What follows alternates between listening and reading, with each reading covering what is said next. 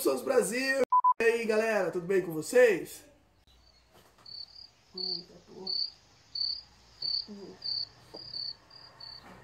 Tô aqui arrumando essa bagunça aqui no meu quarto, meu bagunçado. Acabei de acordar aqui. e tô numa gripe, vocês não me reparem minha voz, tá? Ó, daquele jeito. Vocês acreditam? Eu acredito. Então é isso aí, galera. Vou aqui trazer pra vocês mais um vídeo aqui no meu canal. Eita, nós! Tô batendo palma pra quem aqui? Então se liga aí galera, tô trazendo um vídeo aqui comparativo entre o GPX 77 e o GPX 8. Vou trazer para vocês um pouco dos dois tocando as mesmas músicas, na mesma equalização e trazendo a diferença entre eles, a qualidade do um qualidade do outro, o defeito de um e o defeito de outro. Então vou trazer tudo aqui num vídeo, é... para não ficar muito grande para vocês, porque senão fica chato você ficar parado ali na frente do computador, que esse cara tá falando ali. Esse cara não vai falar mais nada, não. Então vou trazer mais um vídeo aqui pra vocês aqui da equipe Top Sons Brasil. Tamo junto, galera. É isso aí. Nossa, boiei aqui agora pra falar alguma coisa. Mas curte o vídeo aí. Fala galera Top Sons Brasil, aqui é o Fabrício Castellamari, tô trazendo para vocês aqui esse vídeo agora dos gigantes da Sony GPX 77 e GPX 88 vou trazer para vocês um vídeo falando a qualidade de um e a qualidade do outro. Defeito de um, defeito do outro. Então, curtem o vídeo aí.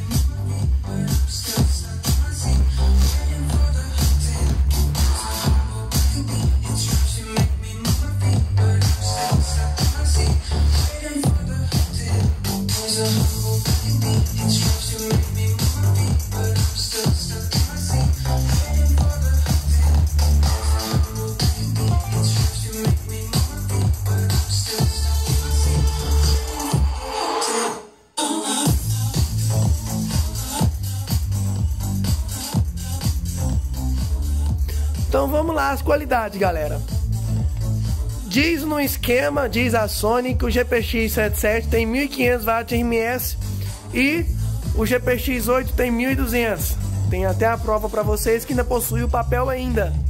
Vocês acreditam? Então, mas na verdade, eu acho particularmente eu acho o GPX 8 um pouco mais pancada por conta do alto-falante de grave ser de 10 polegadas. Então, o alto-falante quanto maior for, melhor a, a resposta sonora ele vai ter. Agora o GPX 77, o alto-falante de grave dele é só de 8. Mas não sei porquê. Os alto-falantes de médio grave, os de cima, dá mais grave, bonito e gostoso do que o de baixo, que é só para grave. Não entendi essa. Eu nem posso falar nada, mas o GPX8 também é do mesmo jeito. Se você olhar as, as caixas de grave e as caixas de médio grave, as caixas de médio grave tem mais, dá um grave mais gostoso sim do que as próprias de som de grave. Eu acho que isso aí é um erro de, de cálculo ou é uma malandragem por parte da Sony, né? Vai lá saber. Mas uma coisa eu percebi aqui, gente, a qualidade sonora do GPX 77 é muito foda. Não chega a ser superior ao do GPX 8. Mas uma coisa eu gostei no GPX 77 que é o agudo. O agudo do GPX 7 é mais bonito e mais híbrido e nítido do que o do GPX 8. O agudo do GPX 8 é um agudo meio assim, muito forte. Acho que o Horner do, do GPX 8 ele é mais forte do que o do 77. Porém, é um som assim, meio feio, sei lá. O agudo dele parece aqueles agudos de plástico, aquelas mesas Watson antiga. O agudo dele eu não gostei muito não. Agora o agudo do GPX7, vou te contar um negócio. É um agudo fiel, fiel. Aqui está os dois rodando a mesma música no mesmo volume. No mesmo equalizador.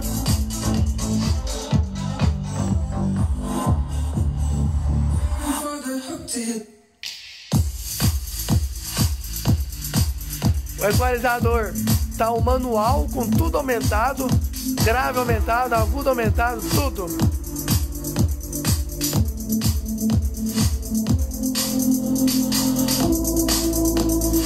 E não é fácil fazer os dois tocar a mesma música assim. Porém, cada um tá com seu pendrive. É difícil fazer tocar, viu?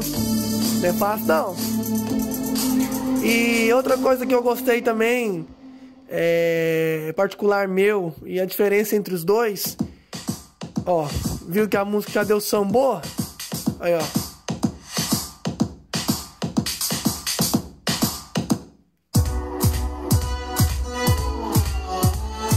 As músicas já deu sambô entre uma e outra. Quer dizer que um dos sons começou primeiro do que o outro.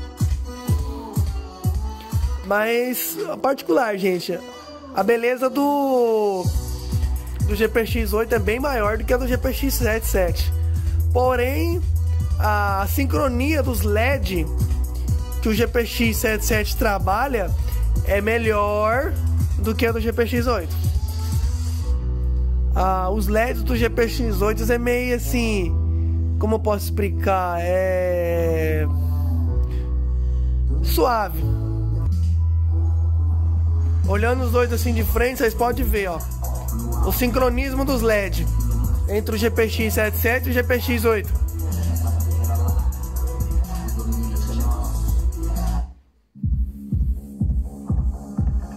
Estão vendo a diferença? O GPX77 toca melhor os LEDs, olha lá. O GPX8 quase nem mexe nos LEDs direito. É mais bonito, mas também é mais moderno, né? O GPX8 é de 2011. O GPX7 já é 2015. 2015, eu acho, 2014, uma coisa assim. Se não me engano, acho que é 2014. A diferença, né? Dois anos à frente, já tiveram ideia para fazer uma coisa melhorzinha.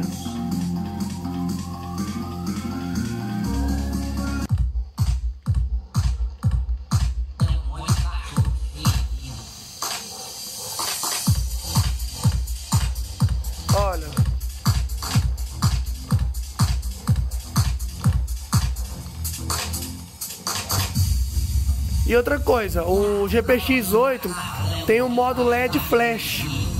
O GPX 77 já não tem esse modo LED flash.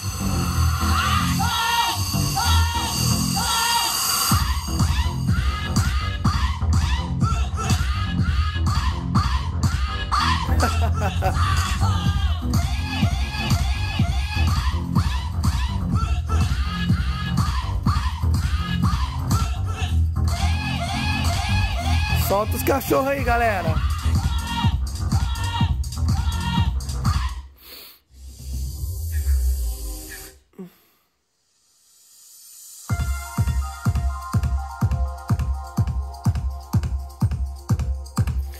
Os alto-falantes que o GPX8 usa dos médio, ali médio grave, é o mesmo que o GPX77 usa.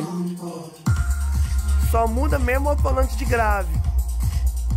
No GPX 77 é um de 8 polegadas. E já no GPX 8 é um de 10. Então isso já dá uma diferença. Seria uma boa da Sony se trouxesse os médios também de 10.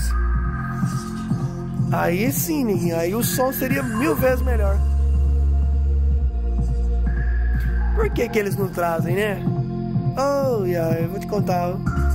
A fábrica sempre tem que deixar a desejar para o cliente.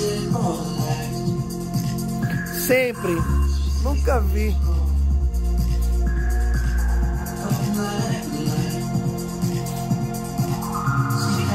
E o display também no GPX8, mesmo que seja cru, é, ele tem mais cor, né? É maior, mostra mais detalhes no, no display. Já o GPX7 é um displayzinho pequenininho, só de uma cor só e quase não mostra nada. Só o Spectrum falso, aquele Spectrum da de, de rádio pilha da Lenox.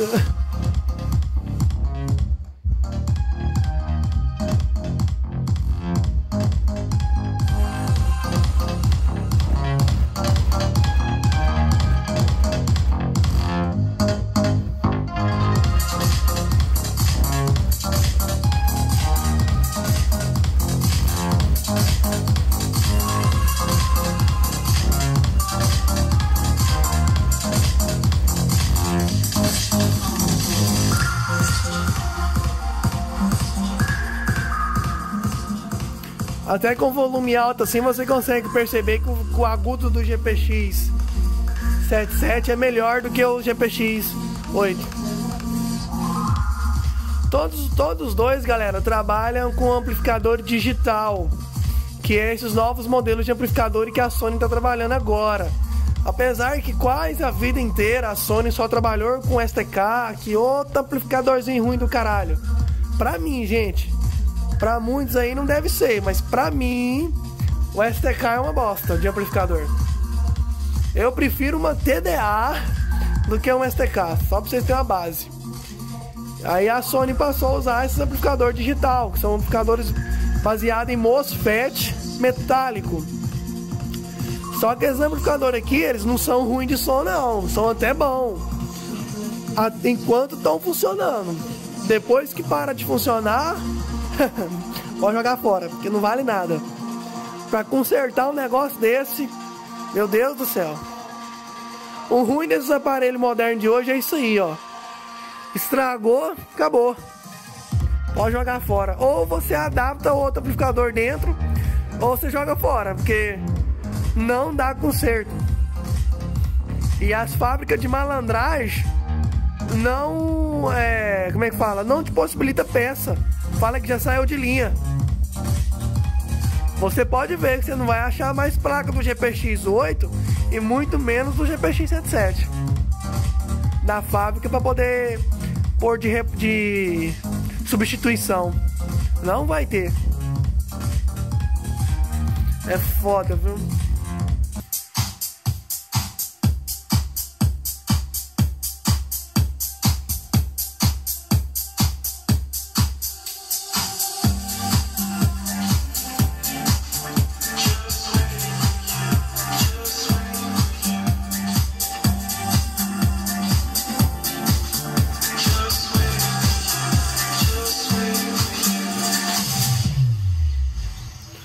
Com os dois trabalhando, dá até para fazer uma festinha com os dois tocando junto. Junta a potência de um com a potência do outro. Vai dar um som pesado pra caramba. Só eu que tô aqui e dá pra perceber isso.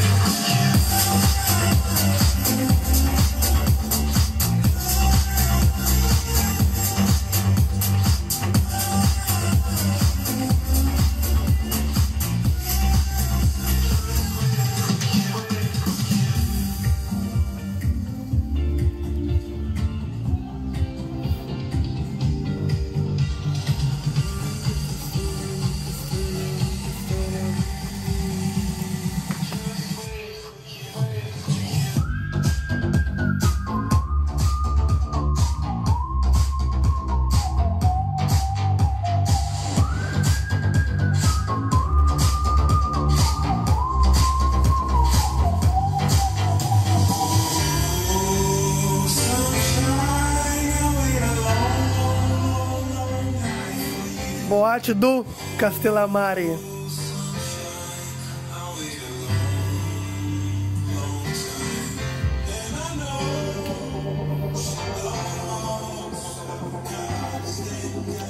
Já tentei resumir para vocês o bastante.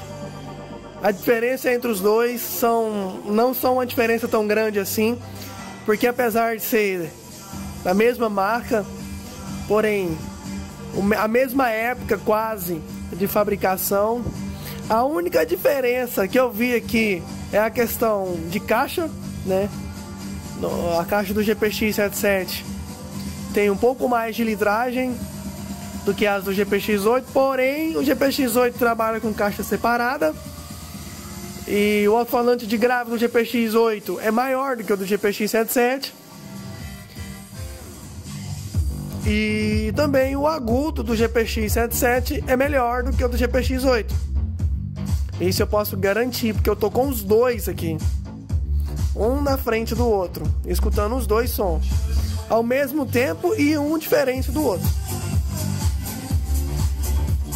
A questão dos LED. O GPX 77 tem mais sincronismo do que o GPX 8. E também o GPX 8 possui seis caixas, né? Na verdade são só quatro, né? Porque aquela surroundzinha ali, pode esquecer ela. Não dá diferença nenhuma não. E o GPX 77 é um pouco feio para mim particular, é um gosto meu. Eu já acho o GPX 8 mais bonito do que o GPX 7. 7. E outra vantagem, o GPX 77 por ser um pouco mais novo, ele possui Bluetooth e NFC, coisa que já no GPX 8 a Sony não trouxe. Porque na época que o GPX 8 saiu, não era muito assim. É, obrigatório, obrigatório trazer Bluetooth no, no, no, nos aparelhos, né? Agora é obrigatoriedade trazer Bluetooth nos aparelhos. Então na época não tinha. E outra coisa, é... o GPX8 tem microfone. O GPX77 já não tem. E todos dois possuem dois USB e possuem efeitos de DJ, como flanger, é, isolator, é, flash e filter. Todos os dois possuem o mesmo tipo de configuração de DJ. O que acontece quando um começa primeiro do que o outro.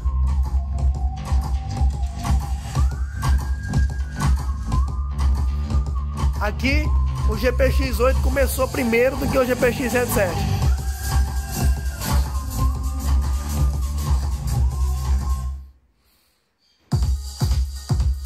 Quando tá tocando assim é difícil a gente acertar o ponto das músicas, não é fácil. Às vezes o vídeo aí tem alguns break, mas é por conta disso, porque eu tive que parar o vídeo e ir lá acertar as duas músicas ao mesmo tempo. Porque ambos não tem saída auxiliar. Porque se tivessem, eram bem mais fáceis trabalhar. Mas tá aí, galera. Pro vídeo não ficar muito grande, já trouxe aí a qualidade de um e defeito de um e qualidade do outro e defeito do outro. Trouxe aí para vocês. Espero que vocês gostem do vídeo. Alguma coisa deixe nos comentários. Me seguem nas minhas redes sociais que vão estar tá aí na descrição do vídeo. E deixa o joinha aí, se inscreve no meu canal, clica no sininho para vocês não perderem nenhuma das notificações de vídeo que eu postar. O que quiserem falar, dar o feedback, deixa aí nos comentários. Valeu, galera? Um abraço aqui do Castelamari ao Top Sons Brasil.